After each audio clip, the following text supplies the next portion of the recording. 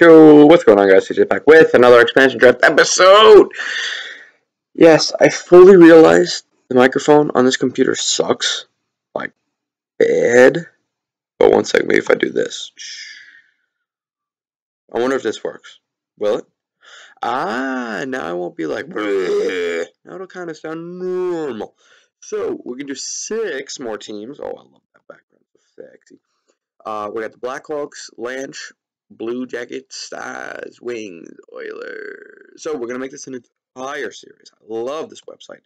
So uh, wow, the Blackhawks have forty nine thousand dollars in cap space. That's forty nine thousand more than they had last season. Boom, crash. So yeah, uh, they're in bad shape for the expansion draft. Very, very bad shape. Very poor shape. Want to know why? Because they have no moving clauses up the gazoo. This is what I'm talking about. Watch this. Boom, boom. Look at all this. One, two, three, four, five, six, seven, eight. You really want to protect Hossa and Anisimov? Well, you don't have a choice. You got to protect Vilipoka. And this is what you're left with.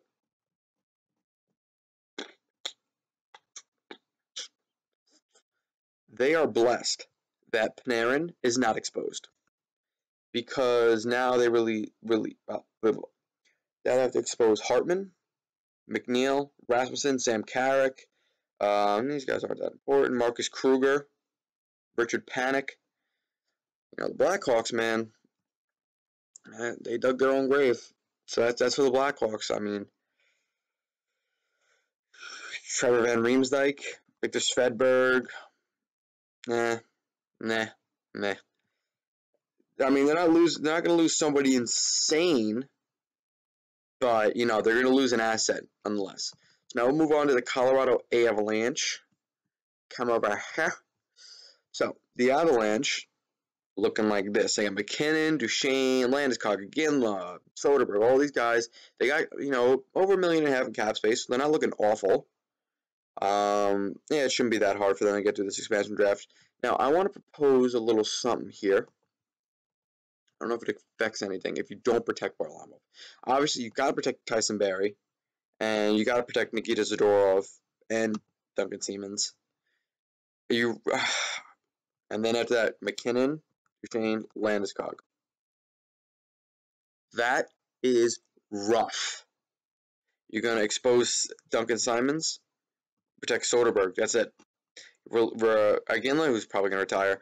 Colborne, Comeau, yeah, not big deal, not a big deal, not a big deal, big deal, big deal, meh, meh, meh, meh, eh, eh, you know, eh, Colorado's caught between a rock and a hard place. The best way to go about doing it, get Francois Beauchemin to, oh, obviously Semyon Varlamov. Uh, and you got to get Beauchemin to waive his no moving clause or trade him because that's rough having Francois Beauchemin take up a spot. You boom, you take that off, you protect one, two, three more players. But that's not the scenario, unfortunately, because we don't we have no intuition as to what's going to happen. So we have to use it on Beauchemin, unfortunately. I wish I couldn't, Colorado fans. I really wish I couldn't.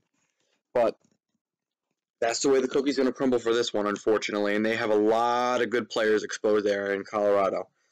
So now we'll go on to CBJ. Boom. Over here. Columbus. They got a little over two million in cap. Looking at the team, they're not gonna have an awful time. I'm gonna. I don't know when though. They shouldn't have an awful time. The only problem is the same thing with no moving clauses, and the fact that they have a deep team. They really got to decipher and pick who the hell is going to stay here and who's going to go. First and foremost, you got to protect Brandon Saad, Seth Jones, David Savard, and Ryan Murray. Bobrovsky, unfortunately, you have to. Cam Atkinson, Boone Jenner, and Karlsson. And now, effectively, you're allowing Jack Johnson to leave, which isn't even that big of a deal um, because they have the defenseman to replace him. You're exposing Jack Johnson, Calvert, uh, who would be a loss, but nothing huge, Alexander Wennberg, Josh Anderson, and Broadhurst, Alex Broadhurst. That's rough. You definitely, I can promise you this, they're going to try to find a suitor and or get Hartnell the waivers, no moving clause. Uh, Dubinsky and Foligno aren't going anywhere. Foligno's a captain. Dubinsky is a heart and soul player. It's going to be rough for the Blue Jackets, but I can guarantee you that Scotty Hartnell will not be on this team come the expansion draft time, they're going to get him to either waive it or trade him because that's a big slot. Because you take it off Hartnell, you can protect Wennberg.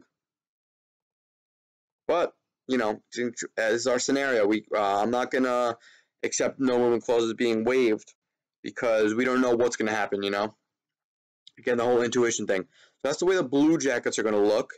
Kind of rough. Move on to the Dallas Stars. We'll scroll down here. Dallas. Dallas Stars. They have a little over two in cap space right now. So cap shouldn't be an issue. You got Jamie Benn, Tyler Seguin, Patrick Sharp, um, Spezza, and these, yeah, they shouldn't be in awful shape, but they're not in good shape either. Um, they got to pick a goaltender. So I honestly, I think it's going to be Anthony Niemi because of his cap hit, and because they are a cap team. But um, we'll see. Nothing can be decided yet. So let's take a look at who they're going to protect, who they're not going to protect. So first and foremost, uh, Tyler Seguin, Klingberg. They didn't sign Hamhuis for nothing, but we're gonna we're gonna do that for a second. Oleksiak. No, they they've been trying to trade him. we won't protect him yet. We're gonna go Niemi actually.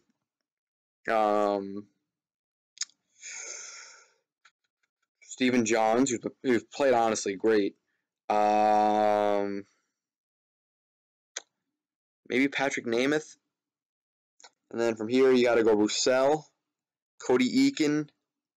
Um, I mean, I love the touchscreen computer.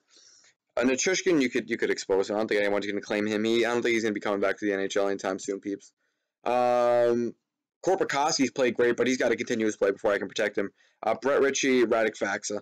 Now you're you're exposing Patrick Sharp, but he's going to be a free agent anyway. So if they claim him, they're always risking him going to free agency. Uh, Dan Hamhuis, that's a tough one to release. But then again, they signed him to a two-year deal, and you know Dallas is going all in this year. They have an older team, and their young guys really are sharp. Uh, Seguin, Benn, uh, Cody Eakin, Roussel, Fax, and Ritchie. That's their future right now. They're worried about that.